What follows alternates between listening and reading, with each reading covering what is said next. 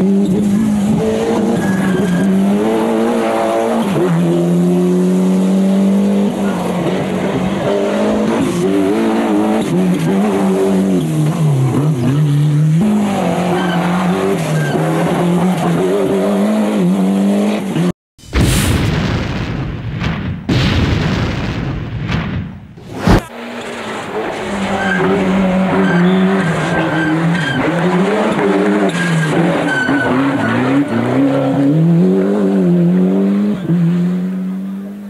Isola di Madeira, nell'Oceano Atlantico.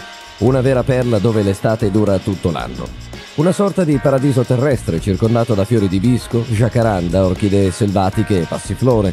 Un'isola dove si gustano manghi, papaie, guiave e nespole del Giappone, oltre che il rinomato vino Madeira. Questo paesaggio meraviglioso è stato scoperto nel XV secolo dai portoghesi e nel 1980 dagli appassionati di rally.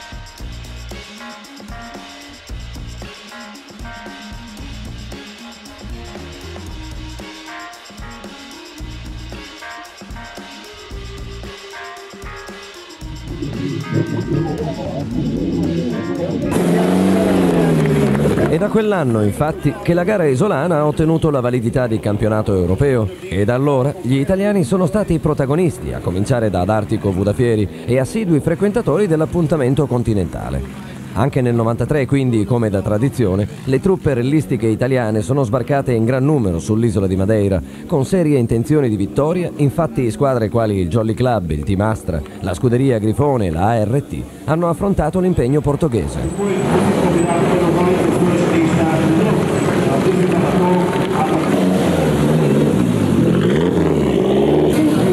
Come da tradizione, il quartier generale del rally era Funchal e da lì i concorrenti hanno preso il via per la maratona di due giorni con 31 prove speciali in programma.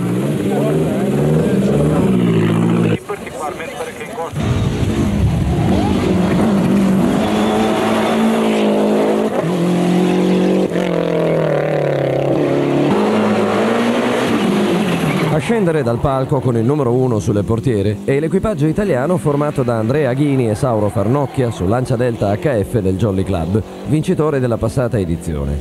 È stata poi la volta di Pierre César Baroni, navigato per l'occasione da Breton, che ha sostituito Girardet, impiegato con Cancun nel Rallye dei Mille Laghi. Il francese è giunto sull'isola portoghese a pochissimi giorni dalla gara e fino all'ultimo la sua partecipazione è stata in forze, causa ai postumi dell'incidente occorsogli qualche settimana prima durante le ricognizioni del rallye di Rovergue.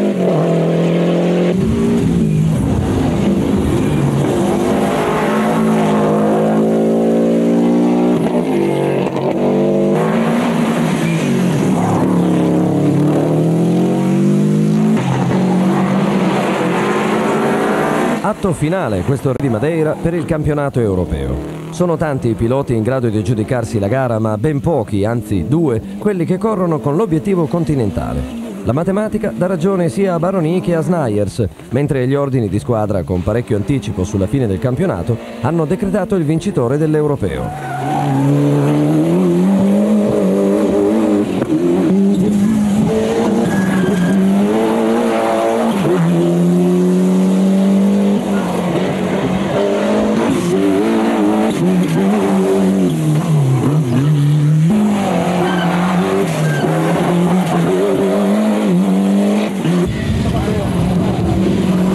Baroni infatti, con il quarto posto conquistato così difficilmente, vista la non perfetta forma fisica, ha aggiunto ancora punti nel suo carniere e si è aggiudicato formalmente il campionato continentale. Alla situazione attuale, l'unico che potrebbe togliergli il titolo è Patrick Snyers, che però corre per la RAS, squadra gestita dall'abile manager Pregliasco.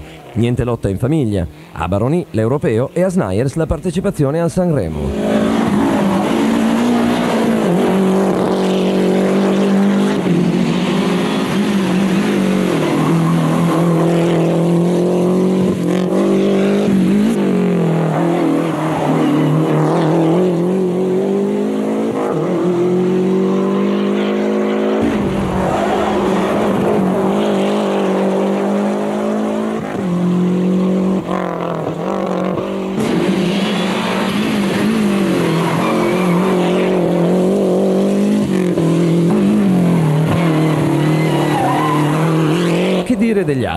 Per Piero Liatti e Alessandro Alessandrini, un rally di Madeira per certi versi tutto da dimenticare.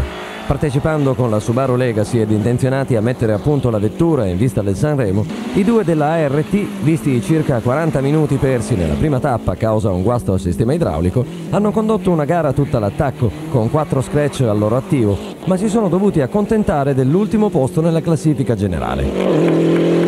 Diversamente non poteva essere, vista la penalità di 2 ore e 53, è successo che dopo aver pagato 25 primi in prova speciale ed altri 13 all'assistenza, Liatti ha chiesto di partire ugualmente tra i primi, ma la sua richiesta è stata negata.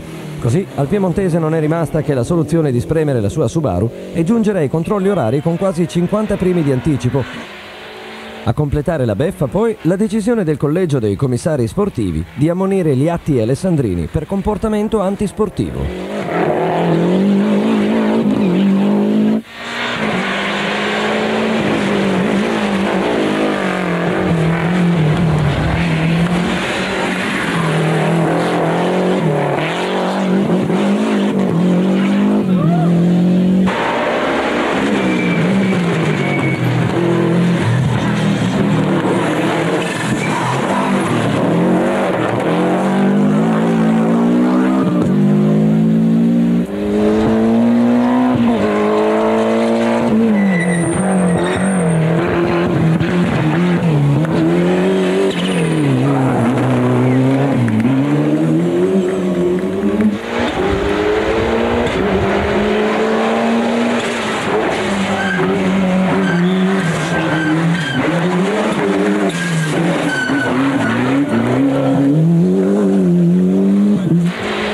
Fabrizio Tabaton, vincitore per ben tre volte a Madeira, ancora una volta non si è risparmiato e ha dato dimostrazione che nonostante ora il suo compito sia quello di direttore sportivo, con un casco in testa non esita assolutamente a tenere giù il piede. Il genovese a lungo ha occupato la seconda posizione in classifica, fino a quando sulla diciannovesima prova speciale, per la rottura di un giunto, è stato costretto al ritiro. Ha lasciato comunque la posizione ad una lancia gemella, quella affidata al peruviano Ferreiros. E sempre a proposito di scuderia Grifone Esso, buone cose sono venute da Sergio Pianezzola, atteso all'esordio con l'HF sull'asfalto e ottimo quinto. Forse abbiamo peccato di Galateo non parlandone prima, comunque in questa edizione del Rally di Madeira una nota di merito va sicuramente a Claudia Peroni che ha portato in gara una lancia Delta HF del team Astra GS. La giornalista pilota, coadiuvata da Oliana Armand, ha mancato per un soffio il decimo posto, solo 15 secondi. È possibile comunque che le due si rifacciano al Sanremo, gara a cui intendono partecipare.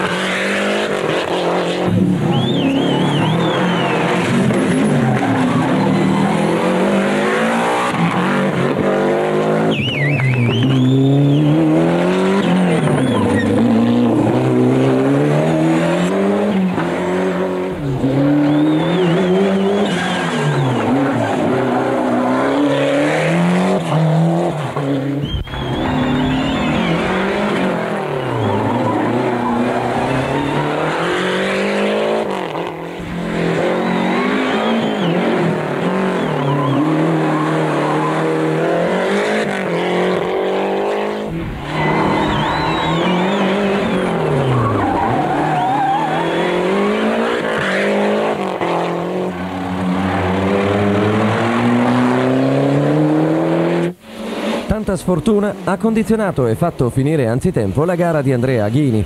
Il toscano del Jolly Club ha dovuto subito fare i conti con la strapotenza della escort di Snyers e ben presto è incappato nell'errore. Nel corso della prima tappa ha toccato e di conseguenza forato, perdendo così circa 40 secondi. Nella seconda giornata poi, proprio sulla prima prova speciale, Ago è uscito di strada andando a sbattere contro una staccionata. Risultato un'immagine quasi medievale. La lancia HF è trafitta in più punti dai pali. Uno di questi ha sfiorato il casco del pilota, due si sono conficcati nel radiatore e due infilati vicino ai fari. Tutto è andato bene per fortuna, anche se viene spontaneo recriminare su di una gara che poteva finire diversamente. Aghini e Farnocchia avevano infatti chiuso la prima tappa con un minuto di distacco su Snyers, ma al momento dell'incidente avevano già recuperato 15 secondi. Grande attesa quindi per un altro italiano e delusione per il suo ritiro.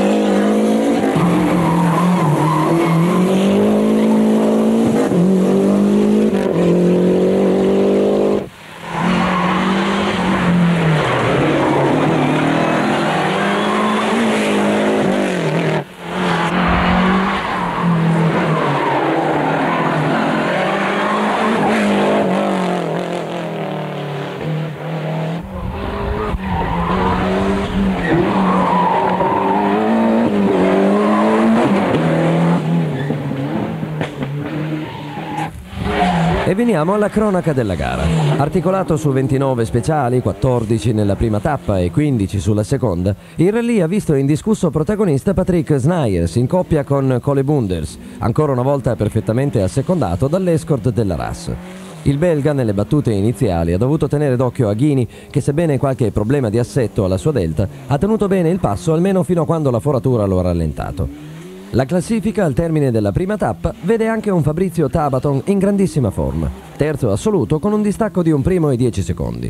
Un'altra escort occupa il quarto posto ed è quella portata in gara da Fernando Perez, che precede nell'ordine Ferreiros, Bica e Baroni. La seconda frazione di gara si apre con un grosso colpo di scena. Aghini, fino a quel momento secondo e seriamente intenzionato a portare al Jolly Club una vittoria che manca da troppo tempo, esce rovinosamente di strada ed abbandona.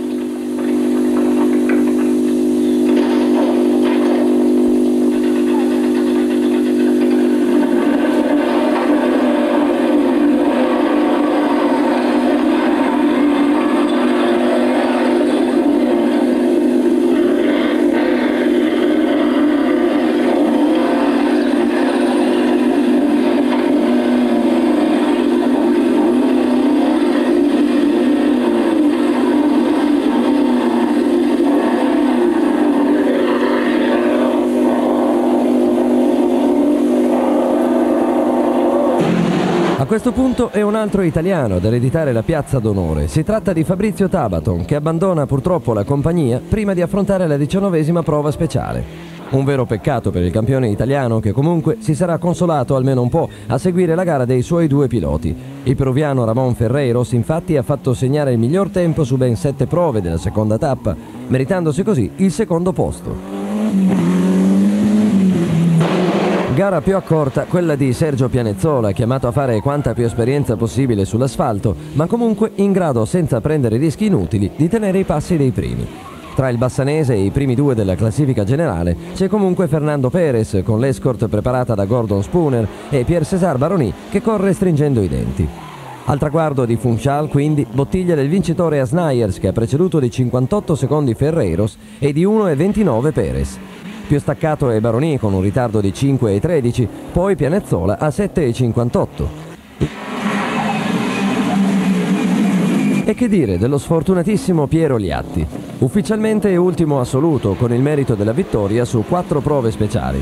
Un tempo totale di 6 ore, 31 primi e 35 secondi che non considerando l'abissale penalità e i 13 minuti persi in una prova sarebbe sicuramente da top 10. Classifica segue poi Bica con una lancia HF, Bruinel Dominique, Campos e l'equipaggio Abel Ferreira, primo di gruppo L. Decimo, staccato di 23 e 14 dal vincitore, Mendes Gomez.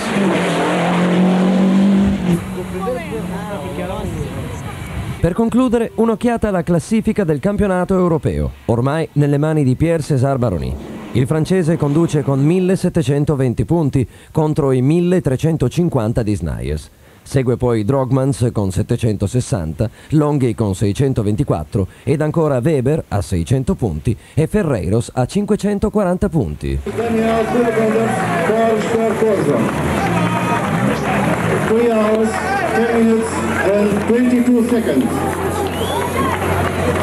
The winner, Patrick Smears, Patrick Smears i Danny Kolobanda. Bom, já temos aqui o Ramon Fernandes. Forza, reverso programma per Campos di Zé Camacho sì, io ho vinto gli ultimi tre rally che ho fatto e non penso effettivamente che il team Bastos mi faccia continuare nel programma europeo. Tutto è possibile, ma non penso davvero che abbiano intenzione di fare il resto del campionato. Je pense pas qu'il y a un budget euh, possible pour faire le reste del championnat. è sicuramente un campionato molto combattuto, quello del 93, anche perché ci sono parecchie auto nuove, vedi la Ford. E direi che la gara di Madeira, essendo il clou delle, delle corse del campionato europeo eh, andata, si svolge abbastanza, è stata abbastanza buona come partecipazione da parte di piloti. Con la mia caviglia eh, sono operato di 20 giorni, come lo sai, allora era difficile di fare un risultato migliore. Io sono molto soddisfatto, anche la squadra è uguale, e per me è una, come era una vittoria. Bon, andiamo, penso che abbiamo comunque una grande opzione sul titolo e oggi posso pensare che c'è ancora tre gare Bon, una sull'asfalto e due sulla terra, io non sono un gran specialista della terra, ma penso che posso me la, me la giocare per vincere quel titolo.